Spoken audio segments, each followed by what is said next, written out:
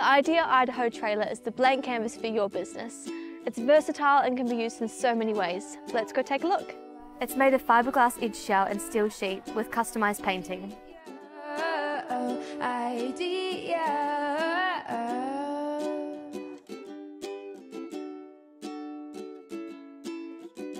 It's insulated with an interior steel wall and features a white painted finish to give a professional and fresh look.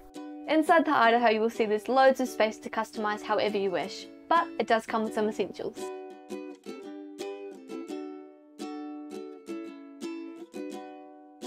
The interior is lit using an LED strip light and the main service window also has LED stud lights. The wiring is in place and is ready to be modified to suit your specific needs. It comes with an oil and water separator, freshwater and wastewater drainage, two sinks, a hot water heater and a top tray. It features a rear window for ventilation and has non-slip aluminium flooring with a drain.